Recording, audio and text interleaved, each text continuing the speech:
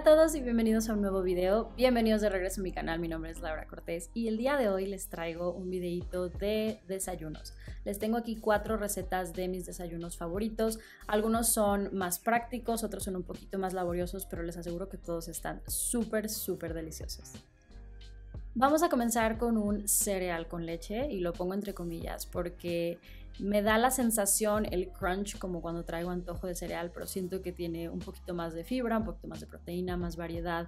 Ahora, estas recetas no son la versión fit, la versión de dieta ni nada por el estilo. Lo he mencionado ya desde hace un par de videos. Estoy haciendo más una dieta intuitiva y aquí lo que estoy buscando es saciar mis necesidades. Entonces voy a comenzar con unos dos platanitos bastante maduros, mientras más maduros son más dulces.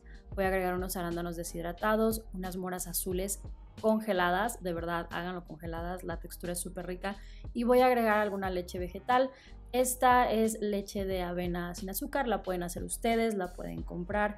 Y lo que me gusta de este desayuno es que literalmente lo empecé a hacer un día que tenía mucha prisa y tenía mucha fruta y no mucho tiempo para planear el desayuno. Me llena bastante y es un buen desayuno ligero antes de entrenar. El siguiente desayuno es un poquito más laborioso, pero lo puedes dejar preparado días antes para que sea más práctico en la mañana. Este es un excelente sustituto a esas avenas instantáneas que encuentras en soferecitos o paquetitos que solo le agregas agua caliente o lo metes al micro. Vamos a agregar avena, semillas de chía y bastante canela. Todo esto se va a ir a un procesador de comida o a la licuadora donde tengas para pulverizarlo y lo vamos a pulsar más o menos unos 30 segundos, 45 segundos. No me gusta que quede completamente pulverizado, pero que sí tenga como la mayor parte pulverizada y haya algo de textura. Ahora, esto de aquí, lo importante es que vayan como ustedes midiendo cuánta avena quieren, cuánta chía quieren, si quieren más canela, pueden personalizarlo, pero los detalles de las recetas van a estar en la cajita de info. Para esta avena me gusta usar leche de nuez de la India. Ahora en todas estas recetas ustedes pueden usar leche regular. Yo simplemente soy intolerante a la lactosa, así que me gusta explorar con diferentes leches vegetales y la de nuez de la India me parece de las más neutrales, no tiene un sabor particular, así que va a saber más a las frutas que yo le agregue. Para endulzar esta avena puedes utilizar de nuevo arándanos secos o mis favoritos dátiles. Los vamos a mezclar junto con los ingredientes secos y los ingredientes húmedos. Aquí viene el truco. Si lo haces en la estufa no hay ningún problema y lo puedes hacer como avena regular. Si lo vas a hacer en el microondas, porque tienes prisa como yo siempre, vas a agregarlo en incrementos de 30 segundos. Cada 30 segundos vas a sacar y vas a remover muy bien la avena y lo vas a regresar nuevamente. Normalmente yo utilizo un minuto y medio en total. De nuevo, la receta con detalles va a estar en la caja de info. Y bueno, si no hacen esto, su avena va a explotar en el micro de nada. ok, acá pueden ver la textura. A mí me gusta una avena más sequita porque me gusta agregarle algunas cosas que la hacen un poco más cremosa. Esto es más o menos una tres cuartos de la taza de avena, no sé bien, pero le agrego dos cucharadas de yogur griego, este de vainilla, de verdad. Me encanta, me fascina, es súper, súper cremoso y delicioso. Y bueno, ya nada más le agrego cualquier nuez o algo de fruta que tenga a la mano. Nuevamente tengo moras azules congeladas porque me encantan, me fascinan. Tenía unas almendras tostadas con un poquito de sal, le agregan un sabor muy interesante. Pero ahora sí que tú puedes personalizar esta receta con los toppings, la fruta, las semillas que más te gusten. El siguiente desayuno es mi desayuno favorito todo el año, pero le vamos a dar un twist veraniego.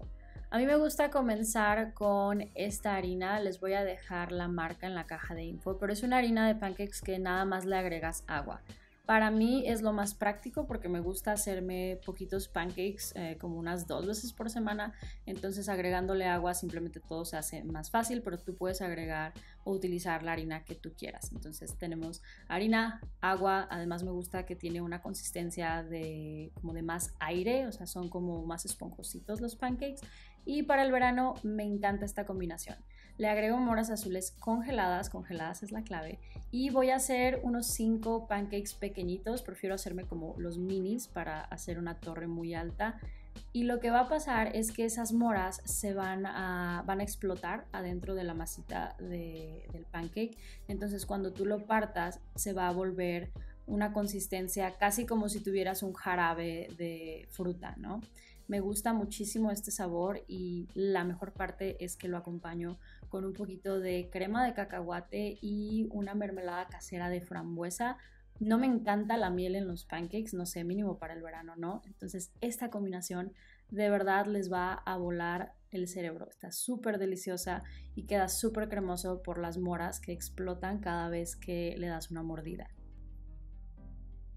Por último les tengo probablemente la receta más laboriosa, entre comillas, porque sigue siendo sencilla, pero una de mis nuevas favoritas. Este desayuno me encanta para los días que voy a entrenar muy pesado, que voy a correr mucho. Es como un pequeño cupcake muy denso. Vamos a utilizar avena, un plátano bien maduro, un huevo, chispas de chocolate y mantequilla de cacahuate. Además de eso vas a necesitar un poco de polvo para hornear, una pizca de sal de mar y canela. Nuevamente puedes utilizar cualquier leche vegetal o leche normal. Yo elegí esta porque me gusta la combinación de sabores. Y esta receta originalmente la encontré en TikTok y la usaban para endulzar miel de maple. Pero yo encontré una versión mucho mejor y más natural, dátiles. Y me atrevo a decir que sabe 10 veces mejor van a lanzar todo a la licuadora. Esta es como la parte más fácil. Es de esas recetas que tienen muchos ingredientes, pero que de verdad es súper sencillo de hacer. Asegúrense de quitarle el hueso a los dátiles y de darles una como una cortadita antes de lanzarlo a la licuadora, nada más para que se incorpore mejor. Agregamos mantequilla de cacahuate y todos nuestros ingredientes obviamente voy a chupar la que queda de mantequilla de cacahuate porque eso es lo que se hace. y sobre todas las cosas, no olviden el polvo para hornear. Esto les va a ayudar muchísimo a que su mezcla se pueda levantar. Nuevamente todos los detalles, medidas y todo estarán en la cajita de info para que lo chequen. Y ahora lo único que nos queda es mezclar, mezclar, mezclar. Aquí necesitan tener un poquito de paciencia, especialmente para que se incorporen muy muy bien los dátiles y endulcen toda la mezcla. Y ya que les quede una mezcla más o menos homogénea, pásenlo a un contenedor y agreguen sus chispas de chocolate. Pueden agregar cuantas quieran, pueden poner solo unas cuantas, pueden usar chocolate con leche, chocolate amargo, chocolate sin azúcar, hay mil opciones. Van a engrasar algún contenedor que tengan que puedan meter al horno y bueno yo tengo estos pequeños ramekins. Los voy a llenar hasta la mitad porque esta receta sí infla algo y voy a agregar unas cuantas chispas de chocolate extras en la parte de arriba esto se va a ir al horno. Yo tengo un hornito eléctrico que es muy útil y caben estas tres porciones, pero también puedes hacerlo como un pan un poco más grande y dividir porciones y este aguanta en el refrigerador varios días, así que el día que quieras desayunar esto, simplemente sacas tu panecito, tu panquecito, lo metes un poquito al hornito, lo calientas y ya está listo. Y en general estos desayunos están súper deliciosos, pero además te dan muchísima energía y yo que estoy corriendo en las mañanas, esto me ayuda muchísimo a no descompensarme, no tener tanta hambre después de entrenar, en fin. Estos son mis desayunos favoritos de la temporada. Espero que les hayan gustado. Estamos al final del verano, así que díganme si les interesa más videos como estos, algunas recetitas. En fin, muchísimas gracias por ver este video. Les mando muchísimos besos. Disfruten. Bye bye.